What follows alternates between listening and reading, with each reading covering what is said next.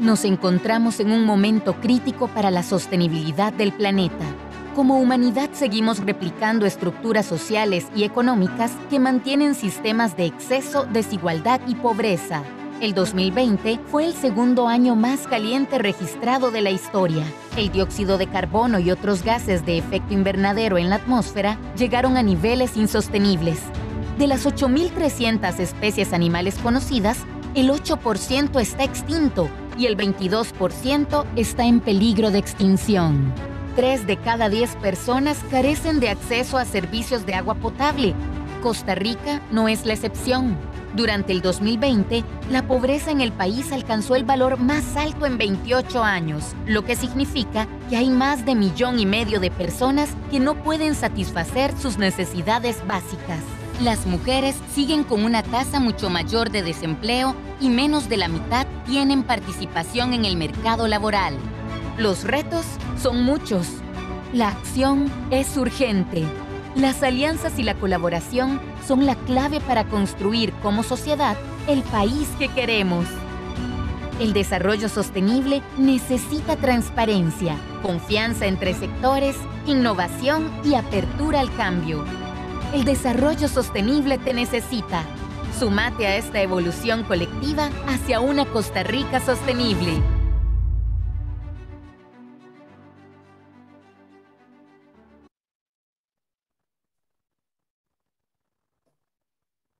Muy buenas tardes a todos y todas que nos acompañan el día de hoy para el último panel que tenemos en el día número 3 de la Semana Sostenibilidad que hemos llamado Evolución Sostenible. Muchas gracias de parte de AED, la Alianza Empresarial para el Desarrollo. Mi nombre es Elizabeth Venegas, yo soy la directora de la Dimensión Ambiental y les agradecemos mucho su presencia el día de hoy. Eh, vamos a tener entonces, eh, o vamos a desarrollar en, este, en esta tarde, el panel llamado Empresas Resilientes ante los Desastres, experiencias desde la Red Arise. Y ahora vamos a conocer un poco también qué es la Red Arise y les adelanto que eh, desde AED nosotros somos la red local en el caso de Costa Rica para Arise. Entonces, sin más, voy a darle el pase a un clip donde vamos a conocer quiénes son los que eh, los expertos que nos van a estar acompañando el día de hoy. Adelante con el clip.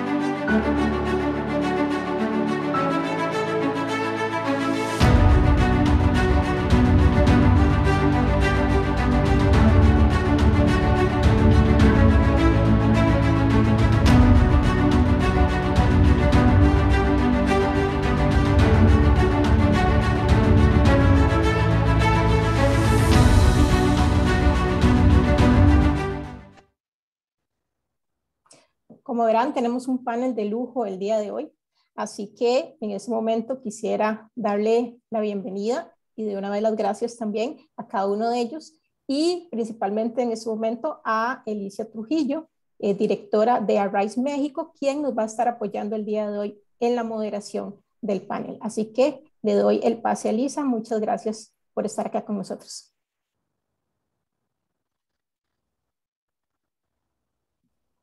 Muchísimas gracias, Elizabeth, por esta invitación. Muy buenas tardes a todas y todos. Bienvenidos sean al panel de empresas resilientes ante desastres, donde vamos a exponer diferentes experiencias internacionales desde la red Arise.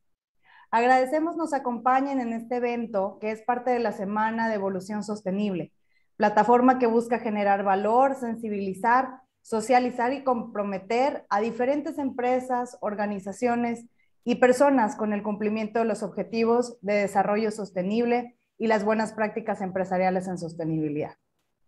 Hoy, en el Día Internacional para la Reducción del Riesgo de Desastres, tenemos una gran oportunidad para revisar como sector privado y reconocer los progresos que tenemos como sociedad en torno a la construcción de sociedades más inclusivas, seguras, resilientes y sostenibles.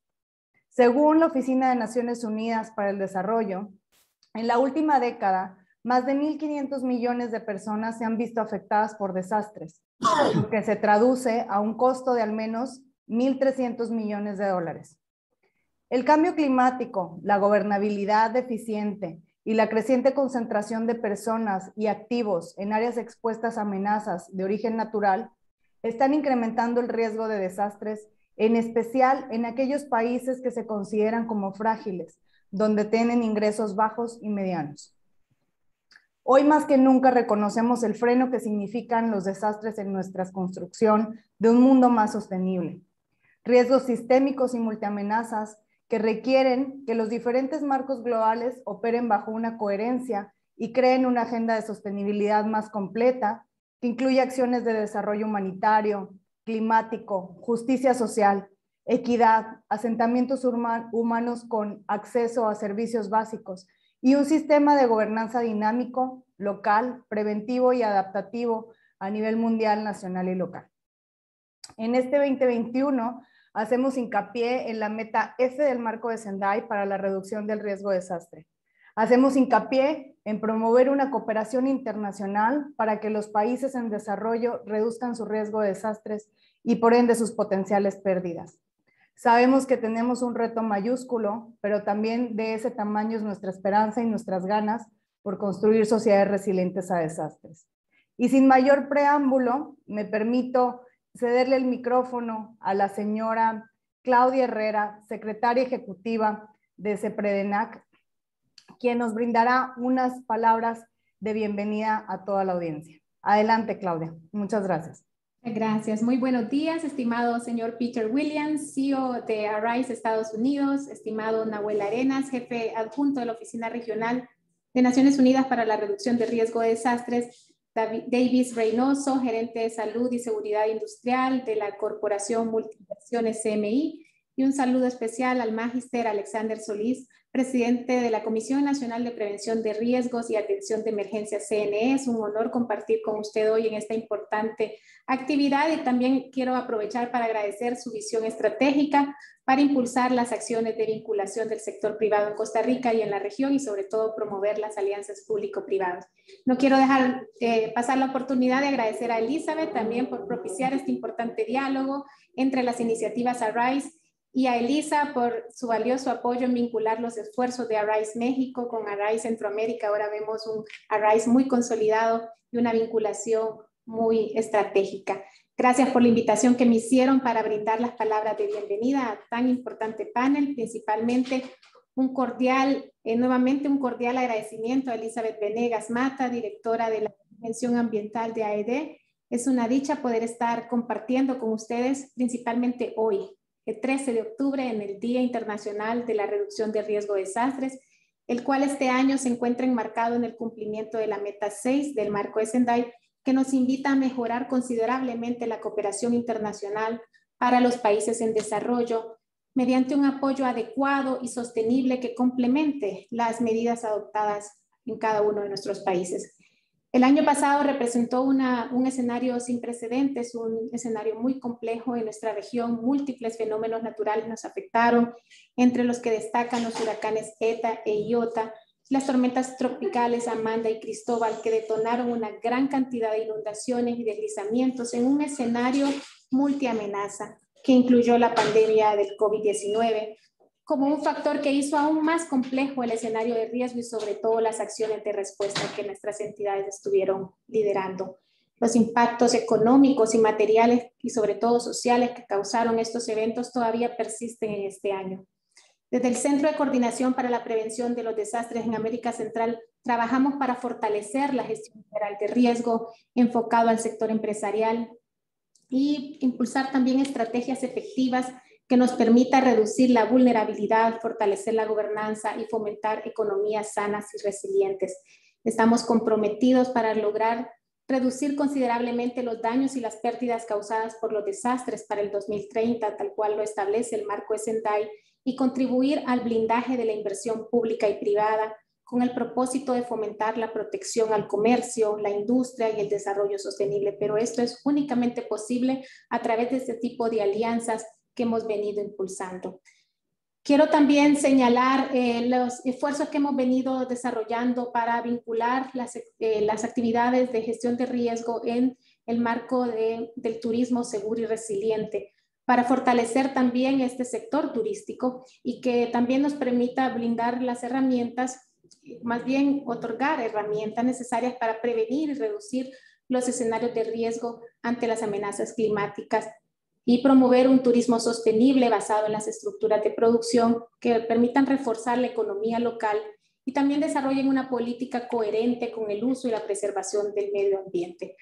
Pero no puedo dejar de resaltar esta importante vinculación que se ha promovido a través de, del sector privado, de la iniciativa ARISE, junto a UNDRR y todas las instancias del sistema de la integración centroamericana que también están desarrollando un papel muy protagónico y muy importante que permite esta articulación de esfuerzos, como es Promipe, como es la CITCA, como es Integrarse, entre otros, que estamos impulsando la aplicación de medidas para la gestión integral de riesgo de desastres, realizando también análisis de la evaluación del riesgo entre actores del sector MIPYME, que también permita promover empresas que estén mejor preparadas para prevenir la ocurrencia de los desastres y minimizar el impacto económico de los mismos. Estamos impulsando juntos acciones concretas, como lo es el curso de gestión integral de riesgo para el sector privado, al cual también quiero aprovechar esta oportunidad para ponerlo a disposición. Nos interesa que todo el sector privado de todos nuestros países puedan fortalecer sus capacidades en estos espacios de formación que estamos impulsando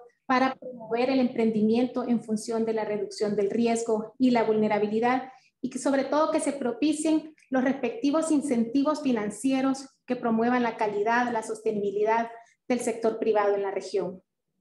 También estamos buscando promover los planes de continuidad de negocios, los planes de contingencia empresariales. Ahora estamos impulsando también con la 7 en el tema de, de comercio, de terrestre, marítimo, aéreo y todo lo que tiene que ver con el desarrollo integral de nuestro territorio. Estamos trabajando juntos para fortalecer las capacidades instaladas en nuestra política centroamericana de gestión integral de riesgo, pero que también nos permita contribuir en el cumplimiento de la Agenda 2030, los Objetivos de Desarrollo Sostenible, las metas del marco de Sendai pero eh, todo esto, como señalaba anteriormente, únicamente es posible si seguimos propiciando este tipo de acercamientos, de diálogos y de intercambios de experiencias y complementariedad, complementando también nuestros esfuerzos a nivel regional y nacional.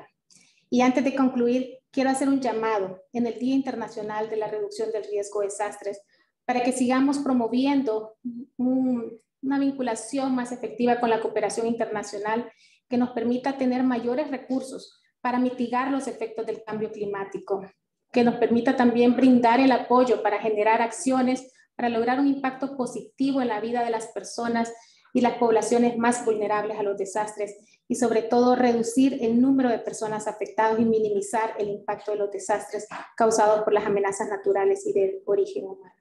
Quiero expresarles nuestro compromiso de priorizar e implementar acciones afirmativas orientadas a la atención de los grupos poblacionales en condiciones de mayor exposición y vulnerabilidad, con acciones dirigidas a una mayor participación de todos los sectores de la sociedad en consonancia con la aspiración de ser una región más segura, una región más sostenible y más resiliente y sobre todo una región de oportunidades para todos. Muchísimas gracias.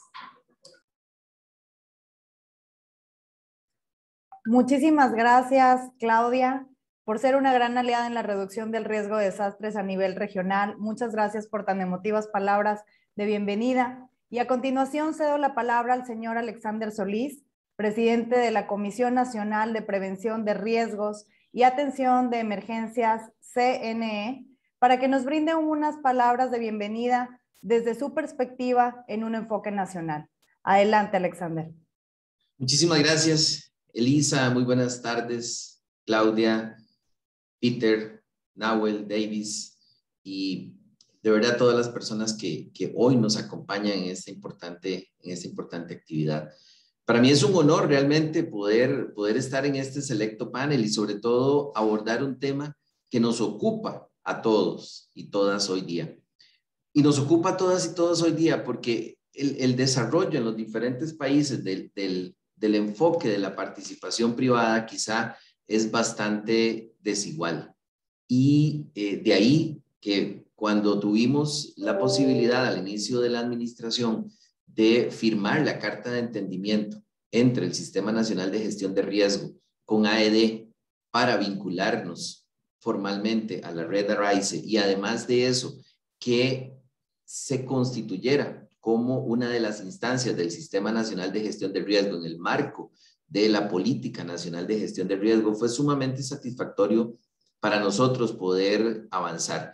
Y eso lo vimos reflejado en acciones eh, posteriores, quizá muy circunscritas al, al, enfoque de preparativos y respuesta, y ese quizá es el reto mayor que nosotros tenemos hoy día, es que las alianzas público-privadas, que la participación de la empresa privada, no solamente la vinculemos a los procesos de asistenciales de la gestión de riesgo, sino que forme parte de toda la estructura, que la, que la génesis de la, de la prevención esté inmersa en los planes de desarrollo empresariales y no solamente circunscritos a los planes de continuidad del negocio. El enfoque de riesgo sistémico, por ejemplo, que lo tuvimos que poner en práctica durante la pandemia casi aceleradamente, un escenario multiamenaza, como Claudia lo ha mencionado, nos ha, nos ha dejado enseñanzas enormes en el, en el, eh, a principios del, del 2020 en el URCA, eh, hablábamos de hacer un piloto en Costa Rica para trabajar el enfoque de riesgo sistémico, pero la pandemia vino y de, de la noche a la mañana nos enseñó que si tomamos una acción A aquí, vamos a tener un efecto Z en otro, en otro lado. Y que si, y que si tomamos eh, acciones de mitigación, posiblemente vamos a tener un efecto muy positivo en, en uno de los elementos de la amenaza, pero que vamos a tener un efecto derivado en otro sector. Y la pandemia nos, nos enseñó, incluso ya, ya mucho se habla no de pandemia, sino de sindemia. Porque no solamente nos dejó claro que para poder atender la COVID-19 tuvimos un impacto severo en el resto de los elementos de la salud pública, en los determinantes de la salud. Y eso pasa por todo el impacto socioeconómico, por el empleo, por la salud mental, por la estabilidad emocional, laboral de la sociedad. Esos elementos hay que considerarlos enormemente en el marco del modelo de gestión de riesgo empresarial. En lo que corresponde a nuestro país, no solamente avanzamos en, eh, el trabajo con, con AED en el marco de la red ARISE y fortalecer esos vínculos, sino también que hemos venido desarrollando en general normativa con INTECO, por ejemplo, para poder enfrentar eh, ese, ese desarrollo, ese, ese involucramiento del sector privado en el marco de la gestión de riesgo en el sistema nacional. Tenemos tres lineamientos en nuestra política pública de gestión de riesgo que están asociados directamente a la gestión del sector privado y esto también implica compromisos en el Plan Nacional de Gestión de Riesgo que nos permitirán conforme avancemos en esta coordinación estratégica ir reforzando esa participación de la empresa privada. Más que nunca hoy en los territorios, en el marco del manejo de una, de una emergencia sin precedentes como la pandemia por la COVID-19, vemos cómo el compromiso de la empresa privada es lo que realmente nos, nos, nos ayuda enormemente a salir adelante. Solo juntas y juntos vamos a poder avanzar en esta enorme tarea. Y como dije antes, no tiene nada más que ver con los planes de respuesta a emergencia que se desarrollan en el ámbito de los programas de salud y seguridad de las empresas, sino que tiene que ver con el compromiso global que se asume en el marco de la gestión integral de riesgo, en un ambiente multiamenaza, en una región también influenciada por la variabilidad climática y, por supuesto, con lo que implica esto en términos de los impactos globales del cambio climático. Eso tenemos que eh, trabajarlo muy fuertemente porque la estabilidad económica del país depende de cómo gestionemos el riesgo, de cómo interactuemos entre empresa privada, instituciones públicas, gobierno local, organizaciones comunitarias para poder tener comunidades más resilientes. Y ese yo creo que es el, el reto principal al que nos enfrentamos.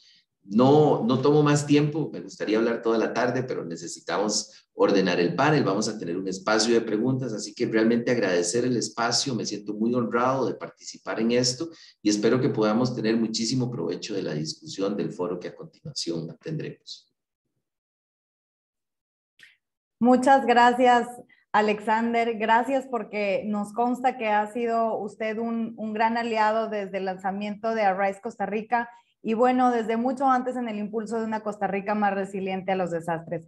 Gracias por estas palabras. Y antes de continuar, me gustaría recordarles a, nuestra audiencia que esta sesión cuenta con traducción simultánea. Encuentran eh, abajo en su pantalla, al lado derecho, un botón que les permitirá estar escuchando la sesión con traducción simultánea, ya sea en español y en inglés. Eh, al tener una, una, sesión internacional, tenemos ponentes eh, que hablarán en inglés y que otros que hablarán en español. Entonces, pueden también, pueden hacernos llegar sus preguntas, por favor, para enriquecer nuestro diálogo final con los panelistas.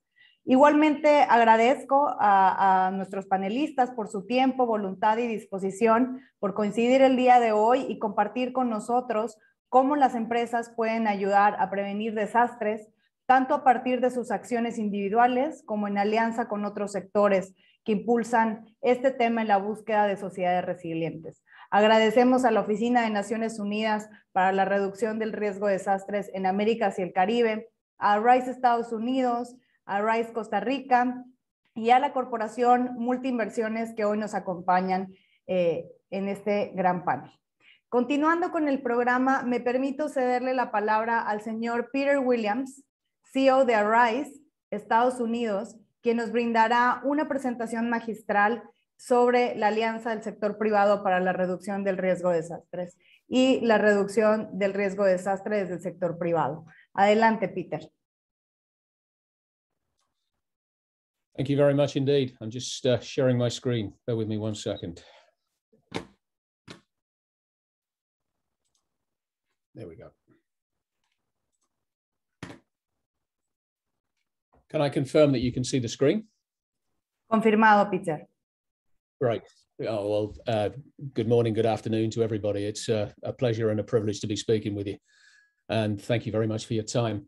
I'm Peter Williams. I am the chair of uh, Arise US. Uh, um, just by way of a very quick word of explanation for um, uh, those that aren't fully familiar with what ARISE is. Um, ARISE was established by the UN, uh, the UNDRR, to uh, foster public-private collaboration in the field of disaster resilience. We have chapters in multiple countries, including, as you've heard, Mexico, Costa Rica, uh, the United States, uh, but uh, all in all, there are 21 ARISE networks around the world, Japan, Philippines, UAE, um, and a number of other places as well, a um, number of African countries too. Um, all the work we do is voluntary. Um, we do receive some funding from some companies, but um, all of the time given by Arise members, um, for the most part anyway, is, uh, is, is voluntary.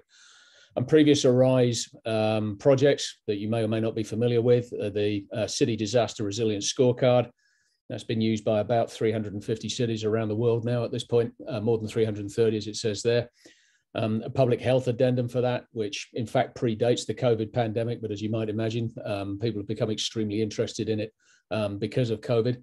And also the uh, uh, scorecard for buildings, as we call it, for commercial and industrial real estate.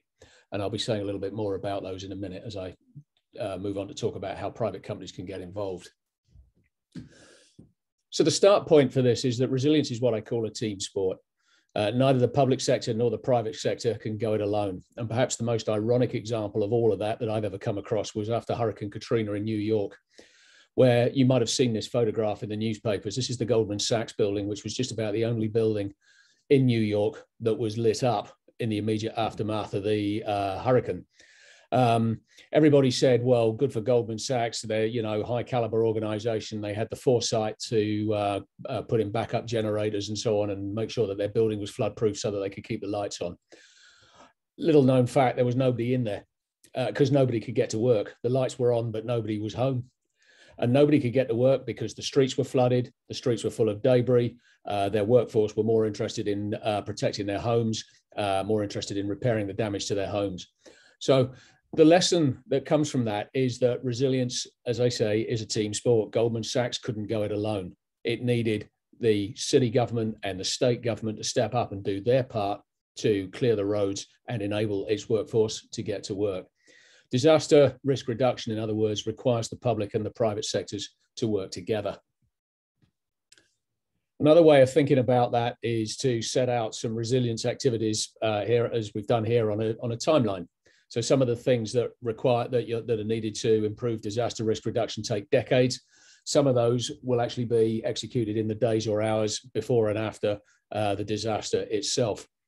But all of the items in red are areas where the public sector could and should get involved, either on its own behalf or in collaboration with the um, uh, public sector to improve the safety and resilience of the community. So this ranges from things like, um, you know, risk uh, prediction. When I work for IBM, IBM is an ARISE member, uh, we invested a great deal of effort in things like hurricane forecasting um, and uh, uh, pandemic prediction, actually, way back in um, uh, 2005. Uh, to uh, improve our own sort of business continuity and our own chances of um, uh, surviving some kind of disastrous event. So the, that kind of multi-decadal scale through to things like infrastructure, hardening your facilities and so forth, making sure you've got duplicate facilities, um, building public and, and workforce awareness, um, and then right down to the sort of up to the minute event tracking. Um, when is this hurricane about to come ashore? Um, and you know, uh, what direction is the wind going to be going? And um, uh, you know, what what time do we expect this thing? And then out the other side of the disaster as well. Firstly, tracking the impact that the disaster has had, um, restarting the uh, company's infrastructure and restarting production, uh, the whole insurance loss adjustment process, and then participating in finding what the new normal is. And we're seeing that in um, uh, very much in evidence in the aftermath of the, uh, well, the ongoing pandemic, COVID pandemic. Companies are desperately trying to figure out what the new normal is in the aftermath of COVID, just as individuals, private individuals, are trying to figure out what the new normal is as well. So all of those activities that are shown there in red, there is some role for the private sector. It's not just a public sector game, uh, in other words. And it's also true, as we know from um, Hurricane Katrina, for example, that when businesses look after their own interests, society benefits as well. And you can see this from the uh, graph of uh, employment numbers in the immediate aftermath of Katrina. You can see that the total uh, labour force plummeted by uh, well over 100,000 people in the immediate aftermath of that um, uh, of, of Hurricane Katrina. And in point of fact, um, they've never fully recovered. The economy of New Orleans today is still not as big as it was prior to Katrina. Um, and that represents, in many respects, a failure of public-private collaboration in the context of Katrina. The, the issues with business continuity and getting that city restarted in the aftermath of Katrina are well known, um, but they serve to demonstrate, unfortunately, just how important it is that there is effective collaboration So this is uh, an Arise. I was asked to talk to Arise um, experience around the world. This is a survey that a number of Arise members made in New Orleans um, of small businesses in the immediate aftermath of Katrina. There were about 200, 208, I think, businesses participated in this survey. And what we tried to do was to find out to what extent they'd actually learned from the hurricane experience and to what extent there was a difference between businesses that had been through the hurricane and those that were established after the hurricane um, and therefore had no sort of institutional memory of it. And the findings are really uh, both revealing and kind of worrying in a sense. Of the businesses that had lived through Katrina, they were the ones that were most likely to have an emergency plan. The businesses that were founded after Katrina and had no memory of it were much less likely to have an emergency plan. Only 39% of them had one, as opposed to 49% of the businesses that pre, predated Katrina. 49% is still not good, uh, but it's better than 39%, obviously. Um, there is also a strong tendency for businesses that uh, have been founded since Katrina to have the naive belief that their insurance company would bail them out the ones that had uh, lived through Katrina had the bitter experience of the fact that no, their insurance companies would not fully cover all their losses, um, sometimes not even sufficiently to keep them in business. The businesses that had survived Katrina were now twice as likely to be taking stormproofing and floodproofing measures for their premises. But even so, there were still only 25% of the total population of, of, of businesses in the survey were actually taking floodproofing measures. There were some other big gaps in that as well. Fully 75% of the survey had no uh, evacuation plan. Only a quarter, just under a quarter, had a, a backup power supplies.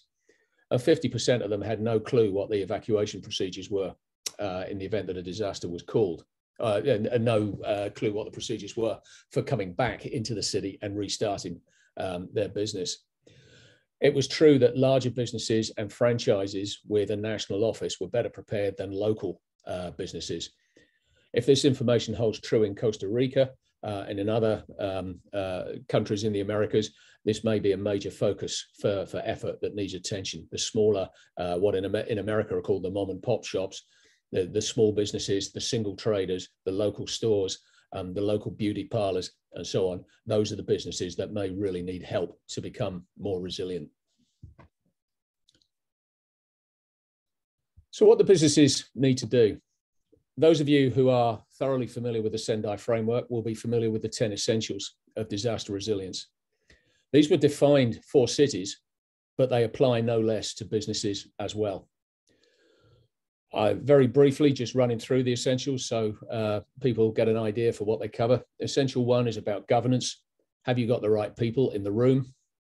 Essential two is understanding risk scenarios. Do you know what might happen, both now and with the uh, impacts of climate change and the impact of growing uh, population numbers? Number three is your financial capacity. Do you have enough money? Do you know where you're going to go to get the money? Do you know how to manage that money? Do you know how to budget for uh, disaster resilience? Number four is about land use and building codes.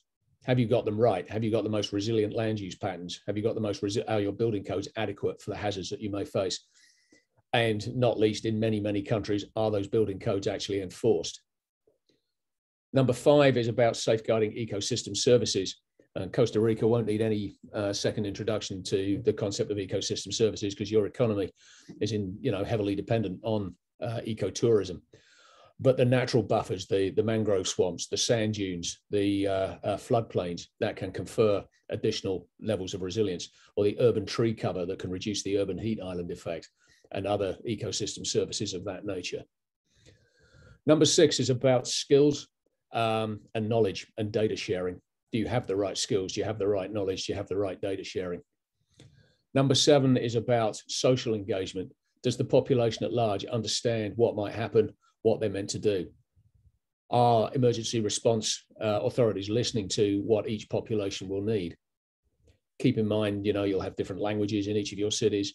You'll have people with different disabilities. You'll have people with very different cultural perspectives. Are you catering to all of those? Number eight is about resilient infrastructure, the thing that everybody thinks of, more concrete and steel, making the roads more resilient, making the dams more resilient, making the power system more resilient, uh, making the water supply more resilient, and so on.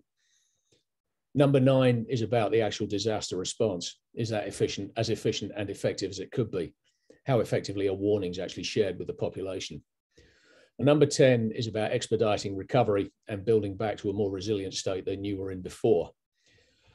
All of those apply to cities, but equally, all of those apply in some measure to individual businesses.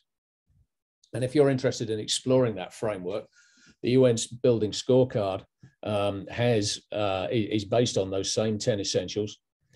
It will allow any business to assess the resilience of its building or of its campus uh, if it if it operates um, you know across multiple buildings.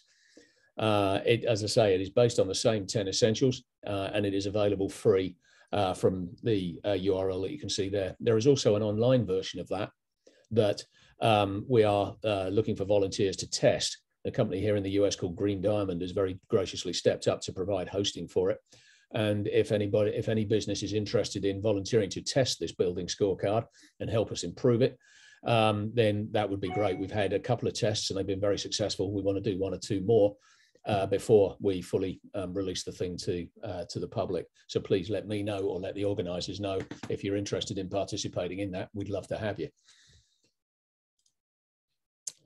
So what I now want to, want to conclude with is a couple of examples from the uh, from the uh, around the world that um, uh, Arise has particular familiarity with.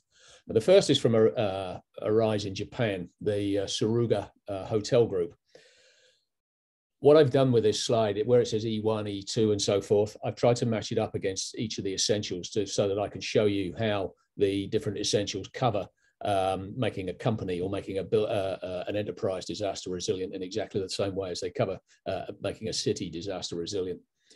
So Saruga uh, is um, has had experience of multiple pandemics. Uh, SARS back in 2002. Apparently, they had a norovirus outbreak, which very nearly closed them down. Um, and now they have, of course, they have COVID. Being Japan, they have frequent earthquake uh, impacts as well. And they also have geopolitical risk. Uh, the, the, dispute with China over the Senkaku Islands resulted in an overnight, almost full stop in the numbers of Chinese tourists that were using their uh, using their hotels, and a dramatic loss of income from that. So the, they have a review uh, uh, sort of capability. They um, uh, have very effective governance uh, and very effective central management of their resilience capabilities. They're uh, visible right to the top of the company, right to the chief executive. So they have a strong set of internal procedures guided by uh, apparently a very comprehensive preparedness and response manual, and they have very clearly defined roles for who does what in the nature of any given crisis. So if you like, that speaks to essential number one, essential number six, and essential number nine from the set that I just um, uh, outlined. They fully understand and address all risks. Um, so that goes to essential number two. One of the lessons they've learned is that they don't focus ever focus on a single market. They don't focus anymore. Uh, they realized they were over focusing on the Chinese market. And then the Senkaku Islands dispute has persuaded them that they need not to do that. And they need now to um, think about new products and new services they realized they uh, how important it is to have the right insurance cover. That's part of essential number three, the financial architecture of disaster resilience, if you like. They uh, very carefully um, uh, sort of uh, promote the fact that they have researched all of the uh, resilience programs on offer from the uh, Japanese provincial governments, from the Japanese national government, and from elsewhere. So they've very proactively gone looking for the finance to um, help them become more resilient. Not so much on essentials number four and five um, from, this, uh, from this example. Essential number seven, um, they have a very strong focus on communications with their staff. Um, promoting self-care in the context of a pandemic that is about you know not coming to work when you're sick um, it's also about a strong concern for mental health uh, as well uh, all very much forms of engagement with your workforce, just as it might be engagement with the population of a neighborhood or a city. Essential number eight, every single hotel can now stand alone with its own backup generators, with its own supplies, um, with its own um, hazmat materials, uh, and so on. So every single hotel is stocked with um, the things that they think they're going to need based on the experience that they've had already. Um, essential number nine, I already covered in terms of the uh, internal procedures and how to actually respond to the emergency itself. Essential number 10, they have a mutual aid arrangement with other local businesses. So apparently at one point, guests in their hotel, um, they, they struck an arrangement with a neighboring hotel whose plumbing was still functioning after an earthquake. So the guests could go to this other hotel to have a shower. Um, kind of an interesting um, vision, uh, vision, if you like, of all these people trooping across the ground between the hotels to go and have a shower, and then kind of trooping back again. But at least it kept the place open while they fully recovered from the uh, uh, from the earthquake. And most impressively of all, they have a culture of using disasters as a catalyst for change. In other words, saying, okay, this disaster has happened. How can we positively benefit from this? In other words, resilience is not just a chore, not just something that you have to do, but it becomes a positive opportunity to improve your business. And I think that's a really important um, uh, point for businesses to take on board. I'm working right now with a very large pharmaceutical company that you've heard of and they want to get to the point where um, the business becomes uh, where, where disasters and uh, sustainability actually drive additional opportunity. They're not just a cost, in other words, they are actually a source of profit. And it would be great for businesses to start to think about resilience as presenting opportunities to do things differently, um, to maybe save money and increase their profit margins, as well as the inevitable need for capital expense. So in other words, to what extent is resilience um, an opportunity? And the second uh, example I've got is from actually from a company that I'm sure will be familiar to everybody on this call, Copa Airlines, who have um, a very strong um, resilience program, which has recently been thoroughly tested with the uh, pandemic. Um, and they have come through with flying colors. They've been recognised as the they they won DRI International's Resilience um, Resilient Enterprise Award. DRI is an Arise member. Um, the, um, the the Resilience Enterprise Award for, uh, for, for for 2020. um, they invest a great deal in disaster resilience. Um, and you can actually see if you look at some of the things they did with the COVID pandemic, you can think of some of the, you, you can look at the, um, uh, the same sort of structure of the 10 essentials. So the crisis management plan activation goes right to the essential number one, which is about government, uh, governance. Um, the pandemic response plan, likewise, but also the uh, biosafety team focus uh, on protecting employees and passengers, all about engagement as well as the specific precautions that they were taking they are looking to change all of their processes, all of their cost and their organizational structures to make them resilient, to make sure that the costs and the benefits of resilience are fully reflected in the day-to-day operations of the company. And the success of that is that, as, as it says, 90% of the available seed miles uh, from pre-COVID had actually been recovered. Um, their net promotional score um, had recovered uh, and their on-time performance had recovered as well. So through a sustained and company-wide approach to dealing with COVID, rather than just a bunch of ad hoc measures, they've managed to come through the pandemic, as indeed you suspect they would come through other disasters, um, with uh, in in pretty good shape, and they are obviously to be uh, uh, highly commended for that. So that is as much as I had to say. Um, let me give the floor to the other panelists. I will be happy to take any questions in the uh, in the discussion that follows. Thank you very much. Muchas gracias, Peter, por este conocimiento respecto a la reducción del riesgo de desastres, resiliencia empresarial y desarrollo sostenible. Definitivamente, hablar de resiliencia de desastres es hablar de un actuar colectivo y es altamente relevante que internalicemos como empresas que si bien los planes, regulaciones y certificaciones individuales nos apoyan en la continuidad de operaciones, no existen operaciones si nuestros empleados no pueden llegar a sus puestos de trabajo. Resiliencia es un concepto y una meta que promueve la pluralidad y este actuar colectivo. Y ahora damos la más cordial bienvenida a nuestros panelistas, eh, con quien vamos a iniciar, nuestro conversatorio. Bienvenidos Nahuel, Alexander, Davis y Peter nuevamente. Les recuerdo que tenemos eh, un diálogo que consistirá de dos preguntas para cada uno de ustedes en la primera ronda les lanzaremos una pregunta específica de acuerdo a las características de su organización y en la segunda ronda se les hará una pregunta en general para todos eh, y tendrán ocho minutos en total eh, para cada uno de ustedes. A nuestra audiencia les recordamos que tenemos la posibilidad de transmisión simultánea. En el lado derecho de su pantalla van a encontrar el botón de interpretación y les eh, y los animamos para que nos hagan llegar sus preguntas respecto a la participación de las empresas en la reducción del riesgo de desastre. Sin mayor preámbulo, eh, arrancamos con este diálogo, eh, arrancamos con Nahuel Arenas, eh, Deputy Director de la Oficina Regional de Naciones Unidas para la Reducción del Riesgo de Desastres en Américas y en el Caribe. Bienvenido, Nahuel. Es un gusto compartir contigo este espacio. y bueno, nos gustaría saber un poco eh, de cómo ha sido eh, la aceptación de Arise, de esta iniciativa dentro de la región. Tenemos entendido que ha sido muy bien aceptada en América y el Caribe y que ha crecido de manera constante durante los últimos años. Como ya bien mencionó Peter, actualmente existen más de 20 redes locales activas y cerca de la mitad de los miembros globales se encuentran dentro de nuestra región.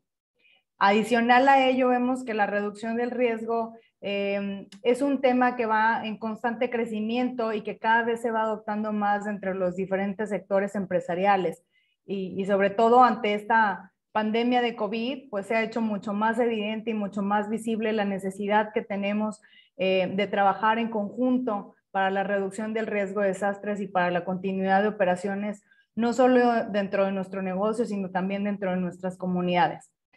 Considerando que, en este 2021 estamos conmemorando el año em, de la meta F del marco de Sendai, donde se promueve esta cooperación internacional para los países en desarrollo mediante un apoyo adecuado y sostenible que complementan eh, las medidas nacionales para la aplicación del marco de Sendai eh, hacia el 2030 ¿Qué estrategias, nos gustaría saber, qué estrategias está implementando la Oficina de Naciones Unidas para la Reducción del Riesgo de Desastre dentro de la parte regional eh, y también dentro de lo global para el fortalecimiento de una comunidad empresarial que invierta en un futuro sostenible basado en la identificación, en la identificación y la gestión del riesgo para construir sociedades resilientes, de este sector empresarial que invierte en desarrollo y no invierte en reconstrucción. Gracias, Elisa, por eh, la pregunta y por tu moderación y muchas gracias a, AED por la organización de esta, de esta importante discusión. Eh, también quiero agradecer a Claudia por sus palabras tan pertinentes en, alusión al, Día Internacional que estamos celebrando. Eh, agradecer a don Alexander Solís con sus reflexiones muy concisas pero muy profundas sobre la importancia de pasar de un foco en, preparación de respuestas a, a, redundar en, pensar nuestros modelos de desarrollo sostenible eh, eh, y en esas alianzas eh, tan importantes entre el público y privado. agradecer a Peter que hizo una, una presentación muy, muy, muy interesante y sobre Arais, pero también que nos muestra cuál es el, nos da un ejemplo de cuál es el potencial de Arais en un país. ¿no? en el caso de, la red de Estados Unidos, han encontrado digamos, un, nicho de trabajo, eh, se, están, eh, se están haciendo y desarrollando herramientas y pilotos que tienen eh, un potencial de impacto que es muy grande. Así que gracias a todos ustedes por precederme y, y, ahorrarme un poco de, de, trabajo porque sus palabras, la, la verdad, este, son muy importantes y, y dan un, un, background muy importante de lo que tengo que decir. efectivamente, el, el, año 2020, como mencionaba Celisa, fue determinante para Araiza en la región. De hecho, hay 22 redes regionales en las Américas y el Caribe, 24 si sumamos a integrarse como red subregional en, en Centroamérica y, y, Caricham como red subregional del Caribe. Este, eh, y AED, por supuesto, es, es, es, la red que representa ARAIS eh, y, y, que ha liderado ARAIS, como lo dijo eh, don Alexander Solís en, en Costa Rica. el 2020 fue, en, esta, en el marco de la pandemia, el año de mayor crecimiento de la red desde su creación, con muchísima efervescencia, con muchísima demanda. Las redes eh, han trabajado también en temas de sensibilización, abogacía, eh, eh, en el contexto de la pandemia han salido a apoyar a, sus miembros, han desarrollado herramientas, formaciones, capacitaciones, recursos. Entonces, creo que hubo mucha demanda, pero también que la oferta de las redes eh, ha estado a la altura de esa demanda y se ha mostrado cuál es el valor de, una red como, como Es el valor que está basado en eh, estos principios de cooperación, en el principio de gana-gana, y en el, como decía Peter, en el principio de que eh, la resiliencia, la reducción de riesgos y el trabajo hacia, hacia economías y sociedades más resilientes y más sostenibles es eh, en ganancia. ¿No? Eh, no, es un, no es un gasto, sino que es una inversión con excelentes retornos. Eh, concretamente, las redes han estado trabajando eh, a través de los cuatro pilares que hemos establecido a nivel global, además de sus prioridades establecidas a nivel nacional, pero las cuatro pilares son el apoyo al sector de las pymes, el sector más golpeado por la, por la pandemia, y que en, en, la región de, de las Américas y el Caribe supone eh, casi el 60% de la, de la, mano de obra, eh, del, del, digamos, de la, del, eh, del, trabajo, de la fuente de trabajo. Entonces, trabajo sobre pymes, hemos hecho un estudio, un análisis sobre resiliencia de la pymes a nivel global, como identificando cuáles son los aspectos de desafíos más importantes para la resiliencia de las pymes. Eh, se ha eh, creado un, compendio de recursos eh, por UNDRR y, y miembros de ARAIS con herramientas para fomentar la resiliencia de las pymes, para protegerlas de los desastres, como por ejemplo la herramienta de estimación rápida del, del riesgo. En, en, este, en México, Elisa, ustedes han sacado el protocolo de resiliencia. en Colombia se han implementado proyectos de análisis de modelo de negocio eh, de pymes, eh, este, se, ha, se, ha, lanzado eso y, una colaboración con la Universidad de Waterloo en Toronto, en, sí, en, Toronto, en Canadá. se han desarrollado herramientas también a nivel de la subregión Caribe con, con la, la red de, de, cámaras de comercio. Eh, hemos trabajado sobre la, el segundo pilar que tiene que ver con seguros, con una sociedad eh, de UNDRR, con ICMIF, esta Federación Internacional de Mutuales y Cooperativas. Eh, se ha sacado un, un, documento muy importante identificando mecanismos prácticos para fomentar el sector, que el sector de las cooperativas y las mutuales de seguros contribuya a la prevención de reducción de riesgo y muchos ARAIs de la región, Dominicana, Argentina, han trabajado mucho en este aspecto. No voy a redundar sobre la tercera pata que tiene que ver con la promoción de infraestructura resiliente. Creo que ahí es un ámbito en donde tenemos que empezar a trabajar en marcos regulatorios y alianzas público-privadas que puedan eh, fomentar eh, las inversiones en infraestructura que generen resiliencia. Y luego la última parte que tiene que ver con la, eh, la promoción de inversiones resilientes. Creo que ahí también es importante que eh, trabajemos eh, eh, en temas de marcos regulatorios, asegurando que se transversalice la reducción de riesgo tanto en las inversiones privadas como en las inversiones públicas. Yo estoy bastante entusiasmado con una conversación que hemos comenzado a tener con ICAP, Instituto de Centroamericano de Administración Pública, para colaborar sobre reducción de riesgos en inversión pública. Eh, pero también creo que, eh, dependiendo del contexto, esto requerirá reformas de marcos regulatorios, que trabajemos en métricas, eh, que trabajemos en guías para informar la inversión pública. Y por último, decir que tenemos que trabajar, creo, para que los paquetes de estímulo post pandemia realmente estén construidos alrededor de, informados por el riesgo, y eh, con el objetivo de construir eh, resiliencia, que salgamos de esto eh, poniendo en práctica los, los aprendizajes y, y, dándonos cuenta de que la única manera de salir adelante es ayudándonos mutuamente y como dijo Peter, de que esto no se trata de un gasto, sino que es una, una, inversión basados en el gana-gana eh, y que es la única manera de tener sociedades y economías eh, más sostenibles y más resilientes. Lo dejo ahí, Elisa, para no tomar eh, más tiempo. Muchas gracias, Nahuel. Sin duda, puntos muy interesantes en, en, el actuar y, y, en todo lo que viene impulsando UNDRR. Y me parece muy pertinente ahora que tocas este punto de trabajar en alianza público-privada. Me, me parece muy interesante poder em, invitar al señor Alexander Solís por parte de la CNE para que nos comparta un poco de, cómo, cómo es que está avanzando el sector público en esta clara necesidad de, de una colaboración multisectorial. Entonces, ¿qué está, ¿Qué está, Alexander? A ver si nos puedes compartir un poco cuáles son estas acciones que están eh, desde el sector público impulsando para fomentar efectivamente una colaboración público-privada en torno a la reducción del riesgo de desastres y la resiliencia de Costa Rica. Claro, Elisa, muchas, muchas gracias y muy buenas tardes de nuevo. Eh, definitivamente, el enfoque de las alianzas público-privadas como un enfoque estratégico, yo creo que es el eje el eje principal en estos aspectos. Y como mencionaba en las palabras de inicio, quizá uno de los retos mayores que tenemos es entender que este, que este modelo de trabajo conjunto no debe circunscribirse a los preparativos y respuesta. Debemos entender, como lo ha planteado Naciones Unidas, que tenemos diferentes enfoques, la gestión prospectiva del riesgo, la gestión correctiva, la gestión compensatoria. Y si, nos enfocamos solamente en el asistencialismo que podemos derivar desde el sector privado, estamos limitando las capacidades del sector privado. Uno de los elementos fundamentales que aprendimos en la pandemia es el modelo de gestión compartida y creo que, creo que Nahuel lo mencionaba hace, hace un momento.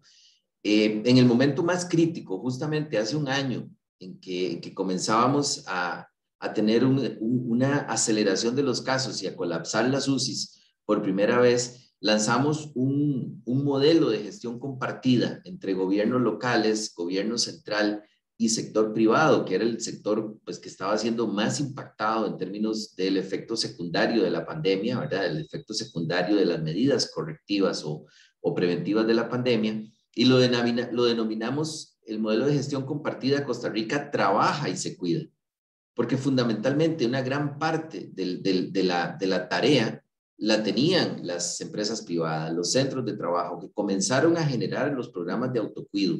Al inicio de la pandemia, incluso generamos con el Ministerio de Economía, Industria y Comercio una guía que la denominamos una guía de continuidad del negocio o de continuidad operativa en el marco de la pandemia.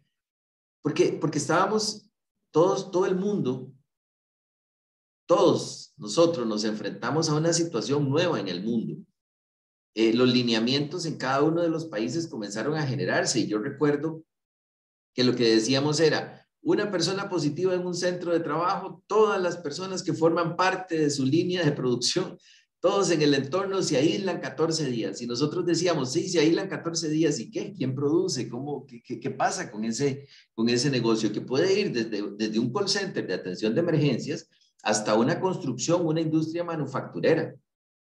Y entonces comenzamos a decir, bueno, pero vamos a ver, tenemos que construir un, un, modelo distinto. ¿Qué pasa con la industria de alimentos, por ejemplo, donde el nivel de exposición es muchísimo menor por las buenas prácticas de manufactura? ¿Qué pasa con la industria farmacéutica, donde el nivel de exposición es distinto, por ejemplo, una construcción? Entonces, entonces creamos una serie de, eh, digamos que tratando de balancear el riesgo, creamos los factores de amenaza en el marco de lo que estábamos tratando y creamos unos elementos que llamamos mitigadores para tratar de eh, cualitativamente modelar ese, ese escenario de riesgo. Y aquí entra otro tema fundamental, y es que la gestión de información, el conocimiento que el sector privado tenga que, tiene que tener sobre los escenarios de riesgo se convierte en un reto también para eh, los para nuestro, para nuestro sistema público de gestión de riesgo. Es decir, tenemos que poner a disposición del sector privado la información necesaria sobre las amenazas para que puedan construir sus, sus modelos de evaluación de riesgo, determinar sus impactos en el negocio y poder construir sus planes de continuidad operativa o bien sus planes de recuperación.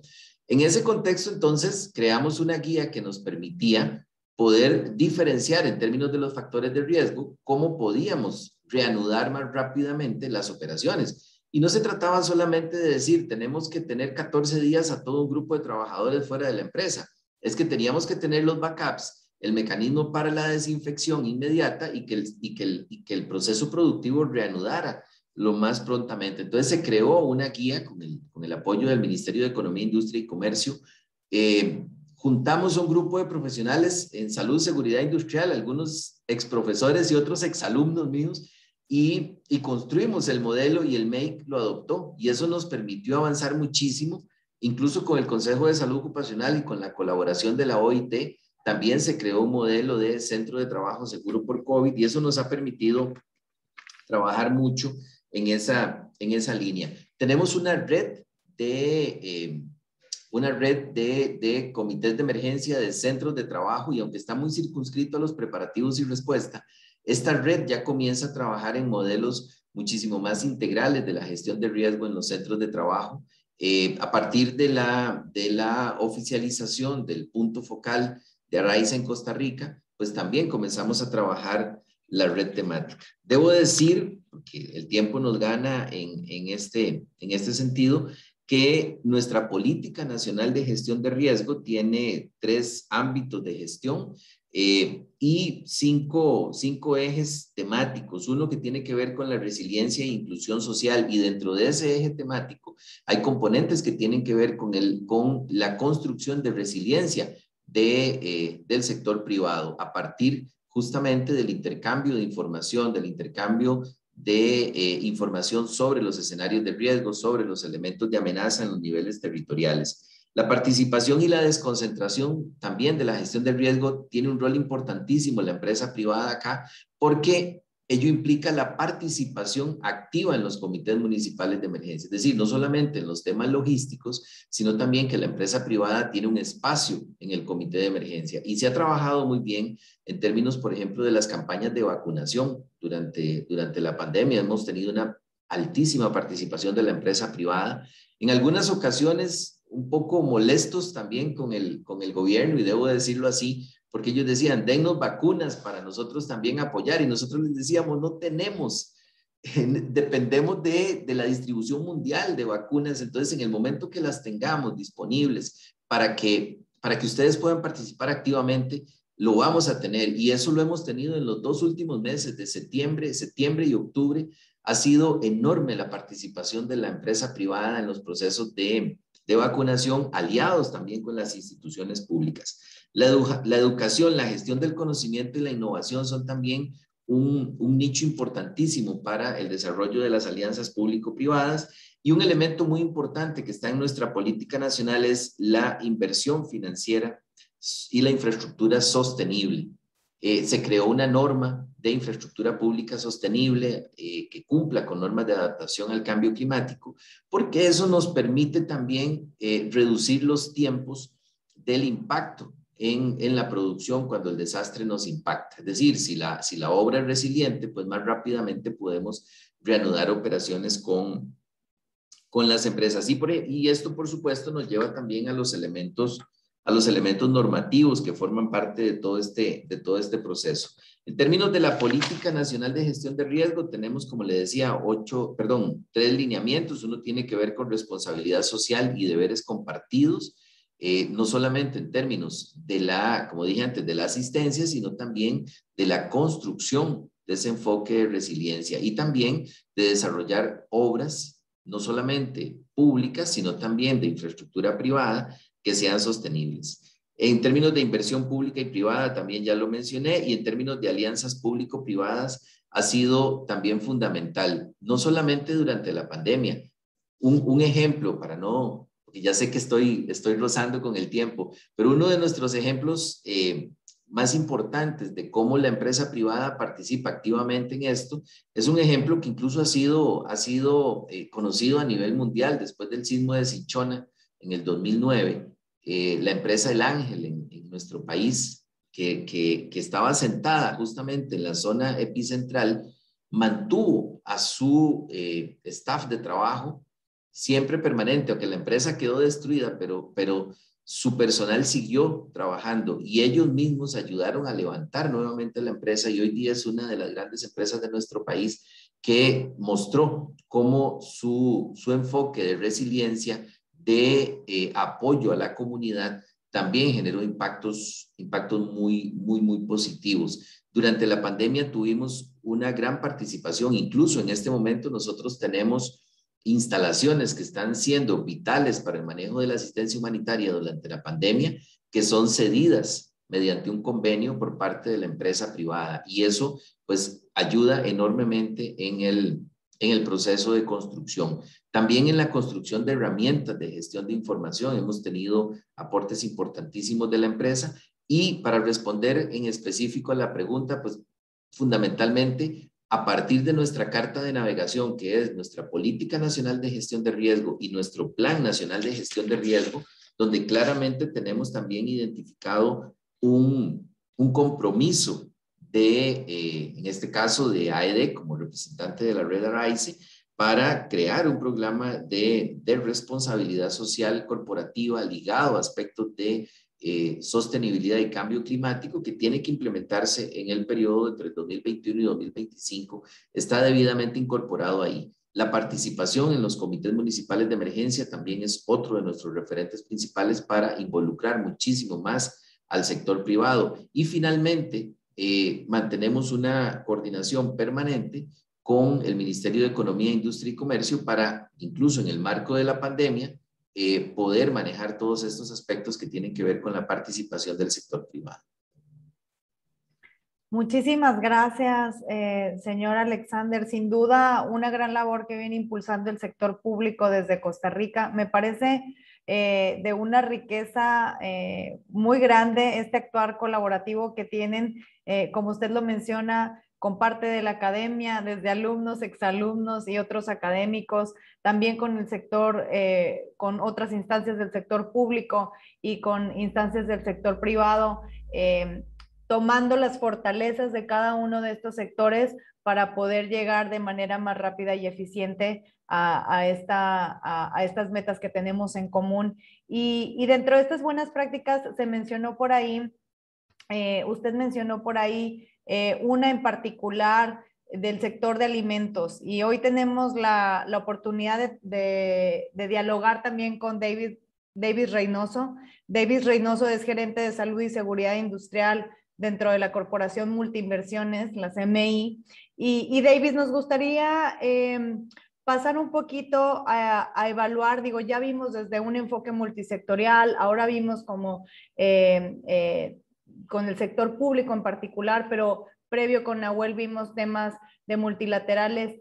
Ahora desde, desde el sector privado, em, sabemos que ustedes en el 2018 fueron una de las, em, una de las empresas em, que ganaron el premio a mejores prácticas empresariales para la prevención del riesgo de desastre que otorga eh, UNDRR.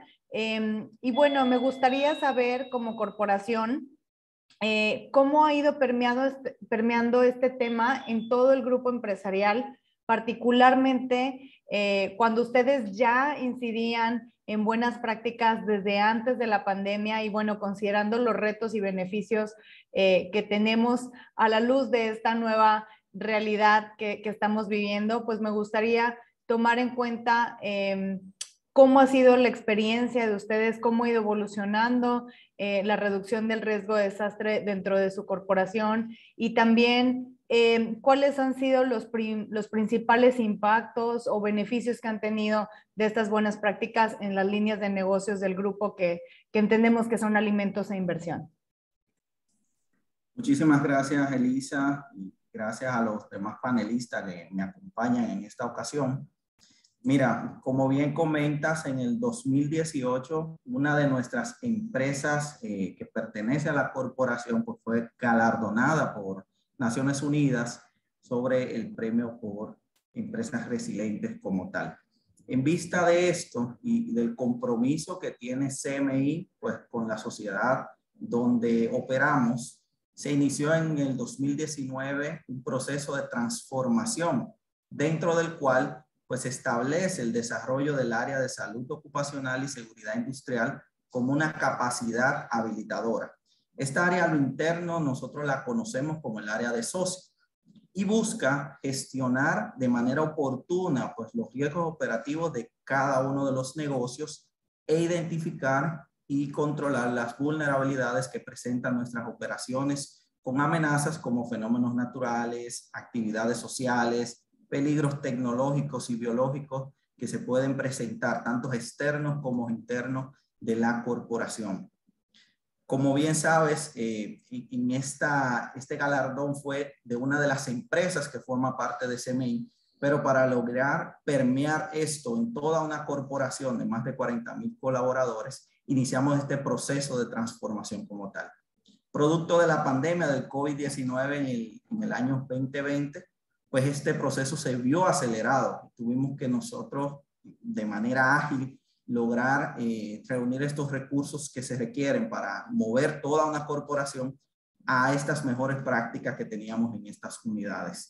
Aquí pues logramos formar un equipo de liderazgo de SOSI que ya en, el, en el argot de la pandemia iban a ser los líderes que iban a impulsar todas las políticas, todos los, los procedimientos, protocolos necesarios para nosotros atender a las crisis como tal se establecieron estos comités de crisis y foros de gestión donde pues se analizaban los posibles impactos que nos podía, nos podía presentar la pandemia y se tomaban decisiones ágiles para mitigar los mismos. También elaboramos, como te comentaba, pues protocolos efectivos que hasta el día de hoy han garantizado ese bienestar a nuestros colaboradores y han logrado la continuidad de nuestros negocios y en un ambiente pues de incertidumbre y con la responsabilidad de proveer servicios y productos básicos para la estabilidad de las naciones donde operamos. O sea, una gran responsabilidad que tenemos en ese sentido y gracias a estas buenas prácticas que hemos podido implementar, pues hemos logrado mantener esa continuidad operativa y la continuidad de los negocios. Adicional a esto, pues se estableció un canal centralizado de comunicación para la prevención e información del COVID. Había mucha incertidumbre al inicio de toda esta pandemia, donde no se conocía nada sobre la enfermedad y logramos nosotros establecer estos canales de comunicación que buscaban informar de manera simultánea a más de 40 mil colaboradores con la misma información. O sea, fue, un logro bastante en nosotros hacer esta cohesión y lograr que la corporación completa pues manejara el mismo idioma en ese sentido y conociera cuáles eran los protocolos y cuáles eran los procedimientos que habíamos establecido para hacerle frente a todo esto de la pandemia. Actualmente, pues nos encontramos en una fase de nivelación, tenemos múltiples negocios dentro de la corporación que no todos están al mismo nivel y lo que andamos buscando es nivelar este, e, e, este nivel, valga la redundancia, que maneja cada uno de ellos para prepararlos ante las demás amenazas. En esta ocasión, el COVID-19 nos hizo pues buscar ese objetivo en común de cómo nosotros atender a la crisis, pero sabemos que hay otras amenazas que dependen mucho de la geografía donde operamos, del negocio que tenemos, de cuáles son esos agentes externos que se pueden presentar o pueden materializar un riesgo que tiende con la continuidad del negocio. Estamos en esa fase de nivelación y preparación para lograr estandarizar todo nuestro proceso a nivel de la corporación pues con el objetivo de fortalecer nuestras operaciones y generar esa cultura de prevención que hemos logrado pues generar en algunos de nuestros negocios. De esta forma vamos a estar gestionando los riesgos y oportunidades de, de manera eficiente y vamos a lograr evitar pues que ocurra algún desastre en todas las unidades de negocio de CMI. Por último, eh, estamos conscientes que esto es un, un, camino bastante largo que recorrer que vamos a tener retos interesantes en dicho camino. Sin embargo, hemos comprobado que a la medida que se desarrolla esta cultura de prevención, pues nuestros colaboradores se convierten ya en parte de la solución. Ellos aportan ideas de cómo nosotros podemos enfrentar algunos riesgos que ya hemos identificado, demuestran compromiso para tomar en cuenta las acciones que debemos eh, llevar a cabo para la mitigación de riesgos y toman una actitud pues positiva y proactiva hacia lo que es la mitigación de desastres. Esto es un trabajo que debemos hacer en conjunto desde CMI. Nosotros impulsamos mucho el tema de cultura porque es la única vía que entendemos como empresa privada lograr que esto permee más allá de nuestras cuatro paredes, sino que los colaboradores puedan llevárselo a sus comunidades, a sus hogares y puedan también tomar esa actitud de prevención ante los desastres. Muchísimas gracias. Qué interesante, Davis, de verdad, esta manera de vincular empresa y, comunidad. Eh, definitivamente, ya lo hemos mencionado desde Rise México en muchos de los foros que, creemos que no existen las empresas exitosas en entornos débiles y me parece genial cómo, cómo están haciendo desde CMI esta, esta vinculación eh, tan evidente y, y, de manera tan exitosa. Muchísimas gracias por, por tu participación. Con esta pregunta y con esta participación de David cerramos la primera ronda de, preguntas. Eh, nos vamos directamente a, la segunda ronda de preguntas. Acá, si me permiten, nos gustaría empezar con la participación del señor Peter Williams. Va a ser la misma pregunta para todos los panelistas. Em, y, estas, son en realidad dos preguntas. Eh, entendemos, y, bueno, lo hemos estado conversando durante este diálogo y, sabemos por estudios de Naciones Unidas que el sector privado tiene una incidencia mayor dentro del desarrollo de las comunidades eh, y, dentro de cómo, cómo es que las personas viven dentro de ellas. Aproximadamente, según estudios de Naciones Unidas, nuestra incidencia es del 80%. Entonces, en realidad es muy grande sobre cómo el sector privado va modelando el desarrollo de estas comunidades donde se va posicionando. Y en este sentido, me gustaría saber, Peter, eh, Nahuel, Davis y, Alexander, ¿cuáles son los retos que ustedes identifican que tenemos como sector empresarial, obviamente dentro de las ópticas que, el sector al que ustedes pertenezcan eh, vean, pero cuáles son los retos que tenemos como sector empresarial para prevenir desastres y construir sociedades resilientes a ellos dentro de las Américas y el Caribe a mediano plazo? Y la segunda pregunta es, ¿qué creen ustedes que se requiere para esto desde el sector en el que ustedes pertenecen? ¿Qué requerimos, Nahuel, eh, dentro de la parte del sector multi, eh, dentro del sector de, cooperación internacional y de multilaterales? ¿Qué requerimos, señor Alexander, eh, por parte del sector público, perdón? ¿Y qué requerimos, Davis y Peter, en cuanto a temas del sector privado para apoyar al mismo sector privado a que cumpla con estos objetivos. Puede ser en aspectos como políticas, alianzas, financiamiento, cooperación internacional, entre otros. Y si me permiten, empezamos esta ronda de preguntas con el señor Peter Williams. Adelante, Peter. Sure. So that's a huge question. I could write a book answering it. I'm not going to get through every single aspect of that in, in the two or three minutes that I have here. Um, I'll pick out one single aspect. I spent 30 years working for a computer company, IBM. Um, I, over and over and over again, saw organizations that failed to share information, either within their own boundaries, within between the functions in the organization. You might have heard the English term functional silos. Um, every organization seems to have them. But the same applies between organizations as well. And when I said in my presentation that resilience is a team sport, that's really what I'm getting at. Over and again, I've gone, I've uh, convened meetings in cities with the different interests where it has become apparent that each of the different stakeholders in that meeting had different assumptions about what was needed. They had different assumptions about the risks that the city and their businesses faced. They had different assumptions about the capabilities of the other. And those assumptions were completely uh, incompatible.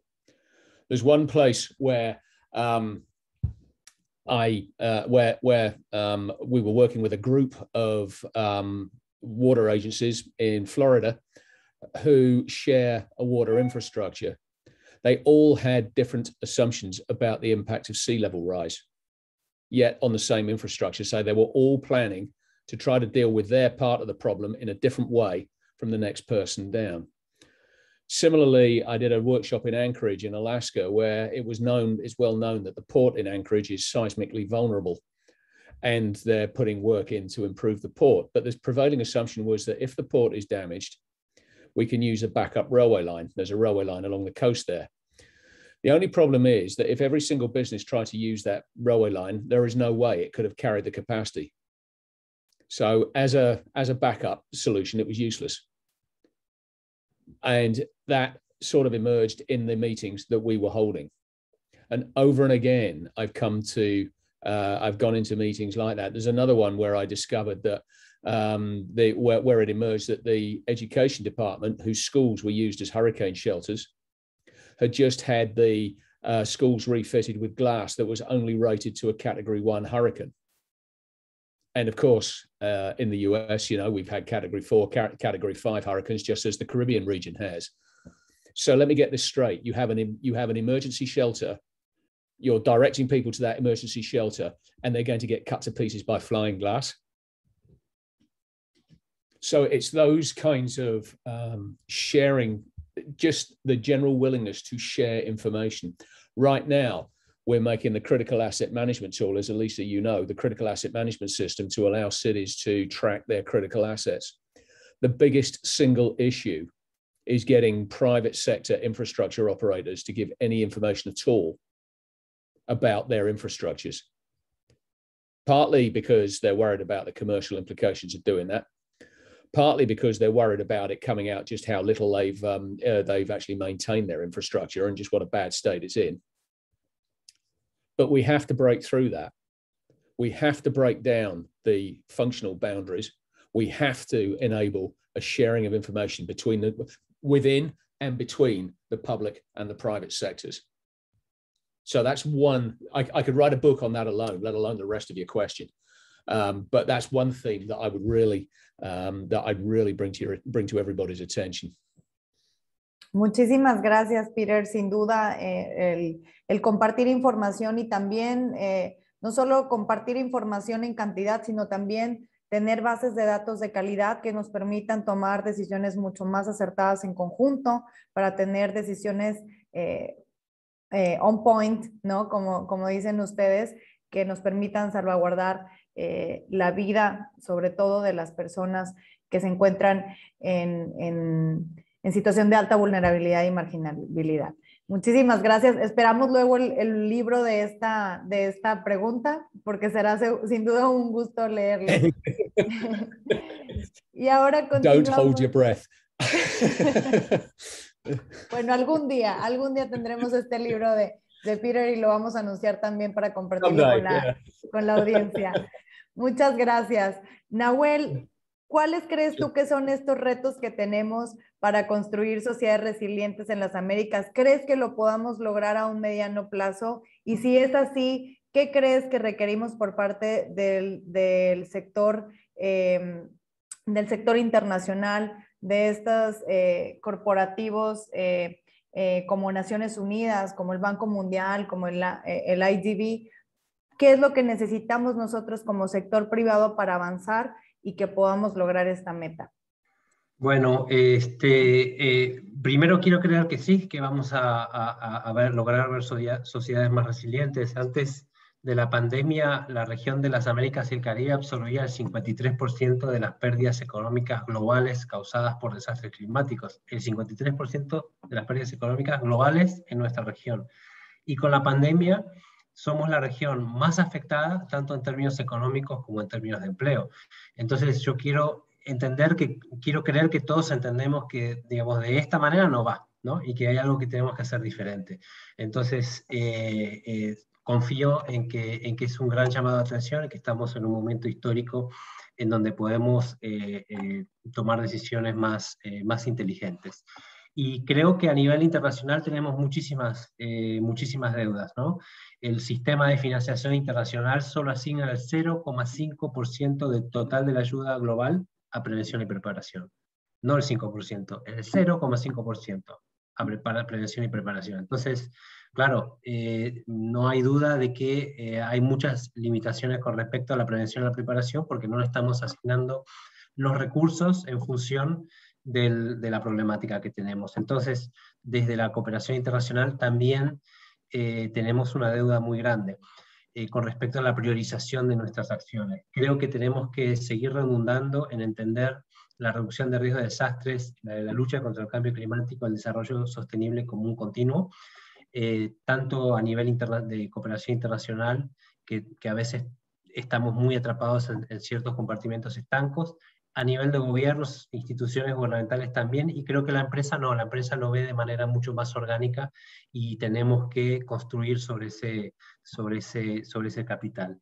Y finalmente, la cooperación, que no solamente es financiera, que también, es, eh, eh, eh, que también tiene que ver con transferencia de tecnología, con desarrollo de capacidades, y creo que redes como ARAIS también se trata de eso, de aprender entre pares. Muchas gracias.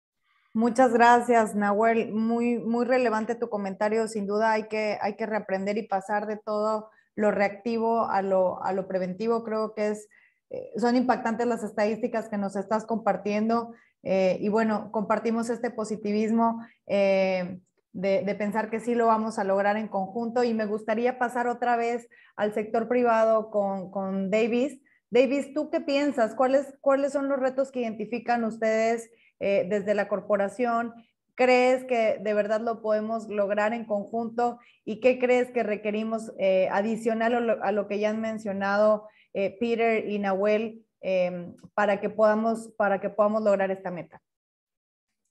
Muchas gracias, Elisa.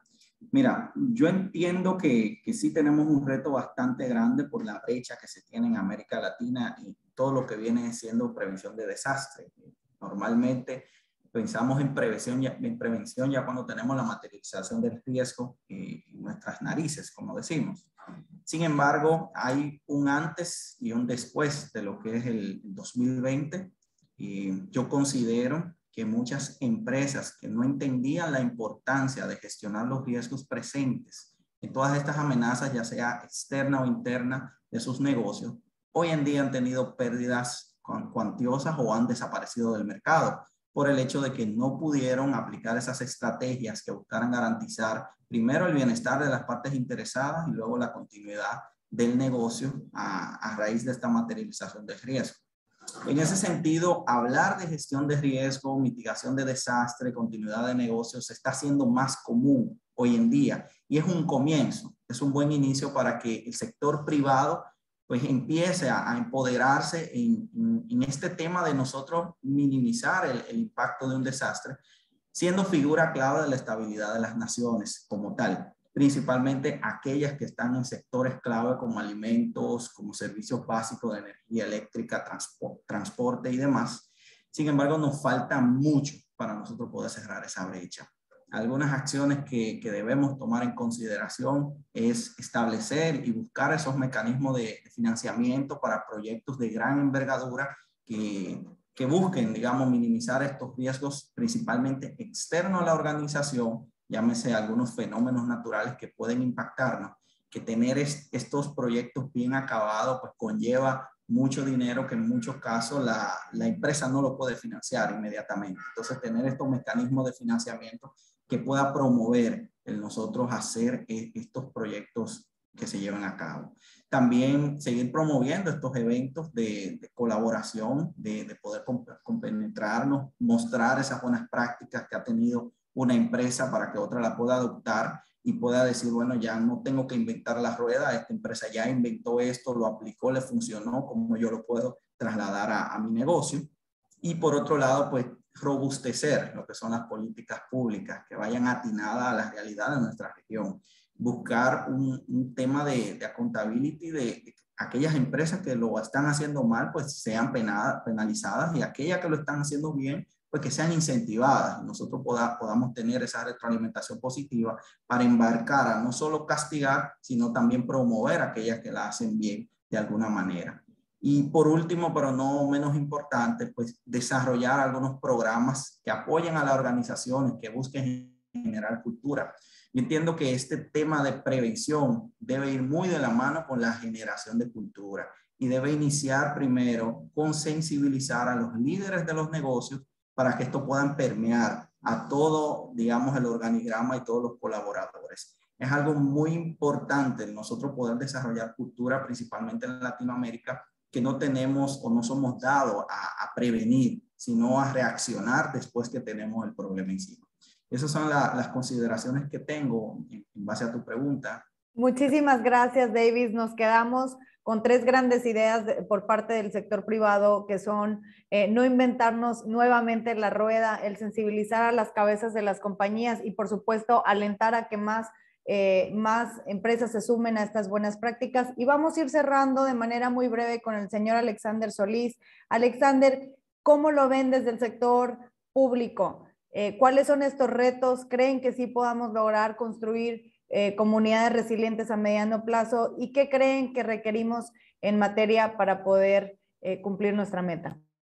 Gracias. Definitivamente tenemos que tener la, la esperanza del positivismo para seguir trabajando en esto. Yo igual que Nahuel, creo que sí tenemos que llegar a eso. Ese, ese, eso es por lo que trabajamos, eso es por lo que tenemos el marco de Sendai, tenemos objetivos eh, estratégicos de desarrollo estratégico tenemos nuestra política nacional de riesgo, nuestro plan nacional, nuestra política centroamericana de gestión integral de riesgo, desde el trabajo de CEPREDENAC y las instancias SICA. Yo, quisiera aportar acá en términos de, mi opinión sobre cómo incorporar al sector privado, quisiera aportar más o menos en unos tres elementos. Voy a tratar de resumir. Uno, me parece que desde el sector privado tenemos que tenemos que comprender que hay dos enfoques del abordaje de la gestión del riesgo. Y los voy a poner en términos muy sencillos para no complicar el discurso. Uno es gestionar mi riesgo como operador privado, como empresario, ¿verdad? Como proceso productivo gestiono mis riesgos, que lo hago desde el enfoque de la salud y la seguridad ocupacional. Eh, y también del control de los riesgos industriales mayores, cuando yo genero un riesgo hacia el ambiente, hacia la comunidad o hacia la propiedad. Y el otro es gestionar nuestro riesgo. Es donde nos integramos todos, es donde eh, hablamos de la participación comunitaria, de la participación social, de asumir el compromiso de lo que implica no solamente mi riesgo para mí, sino para el entorno. Y en esa medida hacemos construcción conjunta. Eso está muchísimo más cercano a un modelo de gestión integral de riesgo. El, segundo orden de ideas que yo plantearía es que necesitamos ampliar como sistema, ya no solo como sector privado, sino como sistema, necesitamos ampliar esa visión de la responsabilidad social corporativa. Porque, porque muchas veces entendemos que la responsabilidad social corporativa se traduce en acciones visibles, es decir, un grupo de personas que fuimos a ayudar un tema determinado, pero la responsabilidad social corporativa nace desde gestionar nuestro riesgo interno y participar activamente en la gestión del riesgo externo. Porque además debemos entender que las amenazas del entorno de, mi empresa son riesgos para mí. Se convierten en un factor importantísimo de riesgo para mi proceso productivo, para mi continuidad operativa. Entonces, e, ese, ese cambio en ese, en ese enfoque de la responsabilidad social y el modelo de gestión de los riesgos internos y externos desde el ámbito privado, eh, creo que es uno de los elementos que vamos a requerir para poder llegar a ese, a ese ideal de las ciudades resilientes con una participación activa del sector privado. El, el tercer orden de ideas es que me parece que desde lo público, y hablo del Estado como un todo, me parece que también es un tema muy característico de la sociedad latinoamericana. Es decir, en la sociedad latinoamericana, si yo hago un convenio de cooperación con una empresa privada hoy, es porque algo ando buscando. Entonces tenemos que sacarnos eso de nuestra mente. Tenemos que entender que las alianzas público-privadas son quizá uno, uno, uno de, los, de, los, de los pilares fundamentales para la construcción conjunta de un modelo de gestión prospectiva del riesgo muchísimo más efectivo. Y en eso requerimos que, que haya una participación activa y quizá requerimos algunos cambios normativos. Por ejemplo, pienso que deberíamos de de generar alguna normativa que nos permita de una forma transparente saber que si una empresa privada participa en un proyecto conjunto con eh, una instancia como la que yo represento, pues que habrá una estructura de costos, porque tampoco la empresa privada puede sencillamente regalar todo su trabajo, habrá una estructura de costos que hay que compensar, que hay algunos trámites administrativos que realizar siempre en el marco de la transparencia, pero que no, no necesariamente porque el sector público, una municipalidad, una institución estatal se alíe con una o varias empresas para desarrollar un proyecto, es porque hay un negocio o es porque hay algo turbio o sucio detrás de eso. Me parece que en Europa, en algunos países de Norteamérica, pues esto es muchísimo más normal, las alianzas público-privadas. Pero en la sociedad latinoamericana casi que eso significa, se alió con alguien y es porque va a delinquir. Y yo creo que eso es, eso es un estereotipo que hay que romper definitivamente. Y por último, bueno, y esto yo lo llamo buscar soluciones ganar-ganar entre, entre los gobiernos y las empresas privadas y los gobiernos locales. Y por último, yo quisiera referirme a algo que dijo Nahuel y quiero reforzarlo, no, no con el ánimo de reiterar, pero es que el rol de la cooperación internacional y lo que puede financiar la cooperación internacional es trascendental en la meta de lograr ciudades resilientes. Es muchísimo más sencillo obtener fondos de cooperación para respuesta a emergencias y cuando uno recurre a los organismos, y dice, mire, tengo un proyecto de gestión de riesgo lindísimo que nos va a permitir tener una comunidad muchísimo más resiliente. Muchas veces en la informalidad le dicen a uno, mire, hay fondos para atención de desastres. Entonces, en realidad, en realidad creo que tenemos que dar ese salto cualitativo también en la cooperación internacional. Es poder tener una oferta muchísimo más eh, atractiva en términos de invertir en prevención, porque recordemos, incluso que ya lo dijo el exsecretario de Naciones Unidas, que en paz descanse, don Kofi Annan, son inversiones, resultados que no se ven en un, en un plazo inmediato, sino que están en un futuro muy distante porque son los desastres que nunca ocurrieron.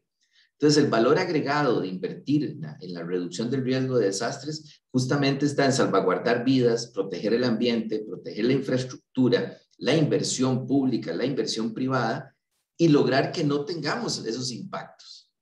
Ahí es donde hay que, ahí donde hay que abordar más fuertemente. Y, reitero, yo sí creo que podemos llegar a tener ciudades más resilientes. Excelente, muchísimas gracias, señor Alexander. Eh, sin duda, grandes eh, aportes. Eh, creo que, voy, a, voy a tomar ese tercer punto que, que mencionó, ese punto de la perspicacia. Sin duda, yo creo que este panel es riquísimo y nos da para, como ya mencionaron anteriormente, hasta para escribir libros y seguiremos esta, esta conversación con ustedes ya eh, de manera eh, en, otro espacio. Entonces nos quedamos eh, con tomar decisiones más inteligentes en alianzas multisectoriales con fe de que hay una colaboración y un compromiso genuino por todas las partes para avanzar de manera en conjunta hacia un mundo más inclusivo, más seguro, resiliente y sostenible sin dejar a nadie atrás. Nos quedamos con esta vibra positiva. Esperemos que la podamos eh, haber hecho traspasar las pantallas hacia toda nuestra audiencia. Y sin más, me despido agradeciendo esta oportunidad de colaborar con todos ustedes em, y le cedo el micrófono a em, Elizabeth Venegas de AED. Elizabeth, muchísimas gracias por esta oportunidad. Hasta pronto. Muchas gracias, Elisa, y a todos los participantes. Realmente eh, las, las impresiones que nos están llegando a AED, a los diferentes miembros que estamos por acá eh, sobre este panel son muy positivas, así que les agradezco a todos los que estuvieron hoy compartiendo eh, con nosotros sobre este tema y tuvimos bastantes espectadores tanto por acá como en el Facebook Live, también tuvimos bastantes que estuvieron ahí participando con nosotros, así que muchísimas gracias a todos. No me queda otra que también darles las gracias a todos los espectadores del día de hoy. Y eh, quisiera dar las gracias también a todos los que eh, han hecho posible que Evolución Sostenible sea una realidad, principalmente al, a nuestro socio del día de hoy, la Fundación Conrad Adenauer, también a P&G y a Bacredomatic, así como todas las empresas y organizaciones que creyeron en nosotros para poder hacer eh, esto posible. Así que muchísimas gracias y por supuesto a RISE también por todo el apoyo para la realización de este panel y Naciones Unidas también. Muchísimas gracias a todos. Eh, que tengan una muy feliz tarde de parte de AED. Les agradecemos su participación y les vamos a dejar con el clip de el día de mañana que vamos a tocar todo lo que son los temas económicos. Así que de mi parte, muchísimas gracias, que tengan una feliz tarde, noche casi, para los que están un poquito más adelantados en horario y este, los vemos entonces en la próxima. Los dejo con el clip. Gracias. Credomatic les invita a disfrutar del Día Económico de Evolución Sostenible. A continuación, te contamos sobre los desafíos que abordaremos en este día. La corrupción deteriora la competitividad de los países, daña la confianza de los mercados, castiga las inversiones, desincentiva a los agentes económicos y sociales, afecta a la libre competencia y a la innovación, amenaza los principios de libertad y justicia y dificulta la posibilidad de trabajar en alianzas para superar desafíos de desarrollo sostenible. Según estimaciones del Foro Económico Mundial, los costos anuales en sobornos y dineros extraviados son de hasta 3,6 billones de dólares cómo recuperar la confianza y potenciar la transparencia entre los Anualmente, el informe Global Risk Report del Foro Económico Mundial realiza un estudio para conocer cuáles son los principales riesgos en términos de impacto y probabilidad de ocurrencia. Durante 2008, solo un riesgo social, las pandemias, figuró entre los cinco principales. En 2018, por el contrario, cuatro de los cinco riesgos de mayor relevancia eran ambientales o sociales. Cómo trabajar en la identificación, priorización y desarrollo de respuestas ante los riesgos integrales de sostenibilidad. De acuerdo con la OIT, Costa Rica marcó un 42% de desocupación juvenil en el primer trimestre del 2020, por encima de todos los países de América Latina y el Caribe. En este contexto, es necesario trabajar en iniciativas multisectoriales que impulsen la empleabilidad de jóvenes costarricenses, considerando temas como STEAM y formación dual. ¿Cuáles son las mejores prácticas para potenciar las habilidades para la vida y los perfiles profesionales que respondan al contexto actual? Para cumplir con la Agenda 2030 es necesario promover una transformación del sistema financiero mundial. Las finanzas sostenibles son aquellas que adoptan un criterio ético e incluyen factores sociales y ambientales y de gobernanza en las decisiones de inversión a largo plazo. Esta nueva forma de enfocar las finanzas supone un cambio de cultura para el mundo financiero. ¿De qué manera se está adaptando el medio financiero para acelerar la transición hacia un futuro sostenible? AED les invita a disfrutar la agenda del día y a sumarse a esta evolución colectiva hacia una Costa Rica sostenible.